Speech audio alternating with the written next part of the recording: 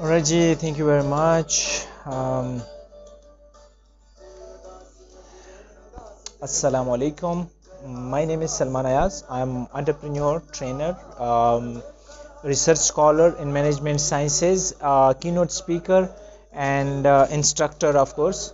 Uh, so I got um, Alhamdulillah multiple um, uh, awards in uh, regional, provincial, or national level uh, in declamation, uh, business uh, idea competitions, etc., etc. And with 10 years of experience in um, in speaking, hosting, you know, training, and conducted 230 plus events um, of workshops, uh, corporate events, trainings, etc. Um, so professionally, I got experience with the State Bank of Pakistan, Red Crescent Pakistan, and um, English biscuit manufacturers, uh, Karachi. Um, I'm a academically research scholar in management sciences. Uh, I've trained uh, 500 plus uh, students on um, business um, management, English communication, uh, confidence building, um, uh, marketing and sales, etc Um with that, I do participate um, in um in, in uh, business startup competitions, in uh, career counseling uh, at school, college, and university level, uh, or private institutions. Uh, so what I'm trying to uh, talk about today is uh, about impact. Uh, what impact is? Uh, impact के session start हो चुके हैं और uh, उस लिहाज से आप लोगों से कुछ गुफ्तगू करनी थी जो कि बहुत इम्पोर्टेंट थी इम्पेक्ट क्या है और क्यों ज़रूरी है? देखिए दस साल, बारह साल सोलह, अठारह और बाईस सालों तक हम तालीमी निज़ाम के अंदर रहते हैं।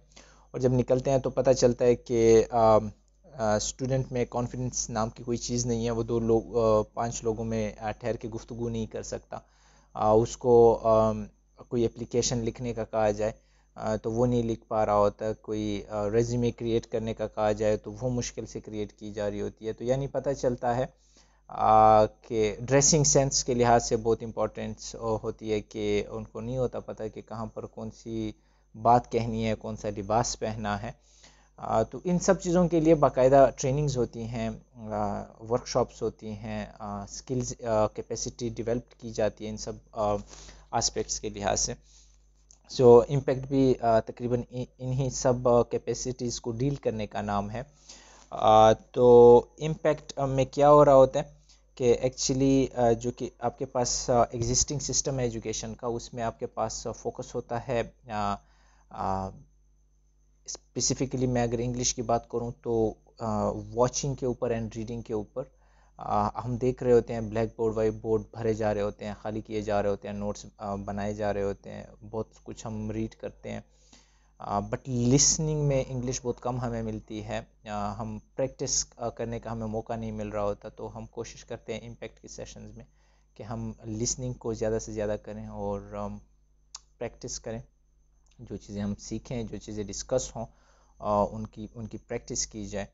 वन वे कम्युनिकेशन होता है एग्जिस्टिंग एजुकेशन सिस्टम में हमारे पास। जबकि इम्पेक्ट के सेशंस में टू वे कम्युनिकेशन होता है, मौका दिया जाता है पार्टिसिपेंट्स को उनको सुना जाए उनकी वीकनेस के ऊपर काम किया जाए। और इसी तरह एग्जिस्टिंग जो आपके पास सिस्टम है, एक फेलियर उसका ये है कि प्री इस्टेब्लिश कंटेंट होता है, सब कुछ पहले से बना हुआ होता है तो वीकनेस को टारगेट नहीं किया जाता और उनके ऊपर वर्क नहीं किया जाता पार्टिसिपेंट्स की, इसी वजह से कोई इम्प्रूवमेंट भी खातर ख्वाह सामने नहीं आती। एग्जिस्टिंग सिस्टम जो आपके पास है जो कि बुरी तरह नाकाम हो चुका है आपका एजुकेशन का एकेडमीज़ का उसमें जी बर्डन है मजबूरी के तहत नंबर हासिल करने के लिए पेपर पास करने के लिए या किसी किस्म का और हीला है जिसकी वजह से आप उस सिस्टम के अंदर फंसे रहते हैं जबकि वो बर्डन होता है आपको मज़ा बिल्कुल भी नहीं आ रहा होता उसमें। On other hand inter impact के सेशन में फ़न लर्निंग होती है। आज के दौर को आज के जदीद दौर को सामने रखते हुए स्टूडेंट्स को परखा जा, जाता है कि वो कौन सी चीज़ इंटरेस्ट से लेते हैं उनका फोकस पेन कितना है वो कितने इंटरेस्ट से किसी चीज़ को किस तरह पढ़ सकते हैं तो इन सब चीज़ों को सामने रखते हुए इन सेशन को तैयार किया जाता है। और उसी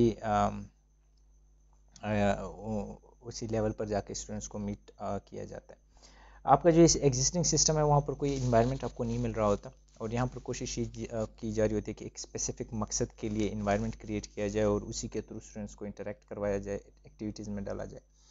कोई बाकायदा इवेल्यूएशन नहीं होती, इसी वजह से वो इम्प्रूवमेंट भी नहीं होती और यहाँ पर हमारी कोशिश होती है कि बाकायदा आपकी इवेल्यूएशन हो मंथली वीडियोज़ इवेल्यूएशन हो, आपको आपका एनालिसिस करके दिखाया जाए कि आप पहले सेशन में क्या थे, दूसरे सेशन में क्या हैं और तीसरे सेशन में और इस तरह एक मंथ के बाद के सेशंस में आपके अंदर कितनी इम्प्रूवमेंट आई है। जो एग्जिस्टिंग सिस्टम है, उसमें सब्जेक्टिव अप्रोच होती है, काफ़ी एक लैंग्वेज के ऊपर ही काम किया जा रहा होता है। जबकि पर्सनैलिटी डेवलपमेंट और कॉन्फिडेंस बिल्डिंग का कोई एलिमेंट शामिल नहीं होता। क्योंकि हमारे ऑलरेडी जो हमारा सिस्टम है, उसके अंदर कोई बाकायदा ट्रेंड लोग हमारे सामने नहीं आते ज़्यादातर जो देखा गया है एजुकेशन सेक्टर में। जबकि इम्पैक्ट में कोशिश ये होती है कि लैंग्वेज के साथ साथ कॉन्फिडेंस बिल्डिंग के ऊपर भी काम किया जाए पर्सनैलिटी डेवलपमेंट के ऊपर भी काम किया जाए। इरेलीवेंट वोकेबलरी होती है जनाब, आपकी जो एग्जिस्टिंग सिस्टम है, उसमें वो तमाम लफ्ज़ वो तमाम जुमले, वो तमाम गुफ्तु हम सुन रहे होते हैं या पढ़ रहे होते हैं, सुनने में तो कमी मिलती है, पढ़ ही ज़्यादा रहे होते हैं। जिसका real life scenario real life situation के साथ कोई सच ताल्लुक़ नहीं होता। जबकि इम्पैक्ट के सेशंस में कोशिश ये होती है कि daily usage words sentences and conversation को सामने रखा जाए और उसी के ऊपर प्रैक्टिस की जाए। आपका जो एग्जिस्टिंग सिस्टम है उसमें एक प्रॉब्लम ये भी होती है कि ज़्यादातर जो फोकस है वो अगेन राइटिंग के ऊपर या फिर रीडिंग के ऊपर होती है। जबकि हमारे यहाँ इम्पैक्ट के अंदर कोशिश ये होती है कि लिसनिंग के ऊपर और स्पीकिंग के ऊपर ज़्यादा फोकस होता है कि वो प्रैक्टिस जो है वो जारी रहे वो स्किल जो है वो एक्वायर की जा सके। ऑलरेडी जो आपके पास सिस्टम है उसमें कोई रिकैप नहीं होता जो सेशन टीचर आया उसने लेक्चर डिलीवर किया नोट्स बने क्लास ख़त्म हुई और आ, इस तरह एक नया दिन शुरू हुआ और उसमें यही चीज़ रिपीट की गई और हम कोई बाकायदा रिकैप नहीं हुआ पिछले सेशन का। आ, तो ट्रेनिंग में हमारी वर्कशॉप्स में कोशिश ये होती है कि जो पिछले हमने किया होता है उसका भी दोबारा से रिकैप होता है उसको फिर से प्रैक्टिस किया जा रहा होता है। इसी तरह जो ऑलरेडी सिस्टम है उसमें आप बहुत जल्दी डीमोटिवेट हो जाते हैं आप बहुत जल्दी उसके साथ कॉप अप नहीं कर पा रहे होते हैं और बहुत जल्दी आपको लगता है कि आप इस आपका और सिस्टम के बीच में कोई ताल्लुक नहीं है उस मेथडोलॉजी के बीच में कोई ताल्लुक नहीं है। आ, लेकिन इम्पैक्ट के अंदर हमारी कोशिश ये होती है कि इन सेशंस के through uh, is self motivation through accomplishing your objectives uh, small minor objectives um, and accomplishing them through that process you get uh, the motivation for you know getting uh, higher objectives uh, for yourself in this journey existing system को देखा गया है कि बहुत सारे सालों के बाद there is no um, such improvement um, but on the other hand impact में हमारी कोशिश ये होती है कि there are great chances of improvement तो जो भी इम्पेक्ट में आता है उसने अपने आप को इम्प्रूव कर होते देखा है अपनी पर्सनैलिटी में। यू नो बहुत गैर मामूली किस्म की चेंजेस देखी हैं पॉजिटिव चेंजेस देखी हैं। हम आ, हमने जो दिन रखे हैं वो संडे ट्यूसडे एंड थर्सडे को हमने सेशन रखे हैं तीन बजे से पाँच बजे तक। और बीच में ये दिन छोड़ने की वजह यह है कि आपको जो एक्टिविटी दी जाए आप उस पर बाकायदा प्रैक्टिस कर सकें उसके ऊपर काम कर सकें। बाकायदा इवेल्यूएशन वीडियो बनाई जाती है एनालिसिस होता है आपकी परफॉर्मेंस का।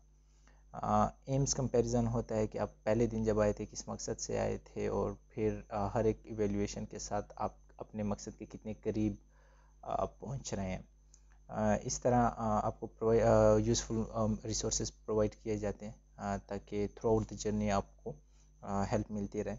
और उसके बाद जर्नी के बाद भी ऑफ़ कोर्स आप उसको यूज़ कर सकें। व्हाट्सएप के थ्रू ईमेल्स के थ्रू आपके साथ डेटा शेयर किया जा रहा होता है, आपके साथ फॉलो अप होता है बाकायदा आप ग्रुप में होते हैं हमारे साथ। पेरेंट्स और गार्डियंस अगर किसी के बच्चे हैं तो वो अगर आ रहे हैं तो पेरेंट्स को हम बाकायदा इन्फॉर्म कर रहे होते हैं, उनके साथ फ़ीड फीडबैक एक्सचेंज कर रहे होते हैं और उनका फीडबैक ले भी रहे होते हैं। उनकी जो परफॉर्मेंस होती है ऑफकोर्स उनको शेयर करते हैं उनके पेरेंट्स के साथ। सर्टिफिकेशन है बाकायदा। That certificate is gonna help you in your career as well क्योंकि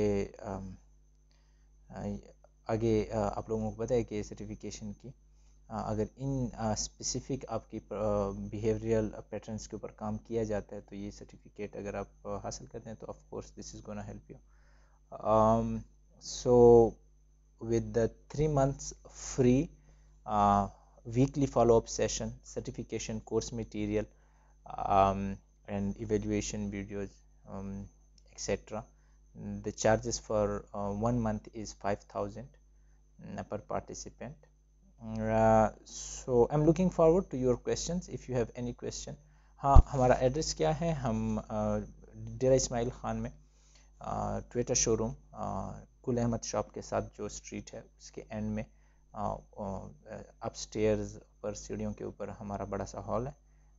तो वहाँ आप आ सकते हैं अप्रोच करने के लिए ख़ुद को रजिस्टर करवाने के लिए। आपको ऊपर डिस्क्रिप्शन में नंबर दिया गया है व्हाट्सएप के ऊपर कॉल के ज़रिए उन उन उन नंबर्स के ऊपर ख़ुद को रजिस्टर करवा सकते हैं। हम ज़्यादा पार्टिसिपेंट्स को अलाउ नहीं करते और उसकी वजह है क्योंकि हमने हर एक पार्टिसिपेंट की ज़िम्मेदारी लेनी होती है और उनको टाइम देना होता है और उनकी स्किल्स के ऊपर काम करना होता है। So we hardly allow ten to fifteen students per batch so पहला बैच बन रहा है and you are welcome to join और जिस तरह ये नंबर पूरा होता है तो उसके बाद हम रजिस्ट्रेशन क्लोज कर देंगे।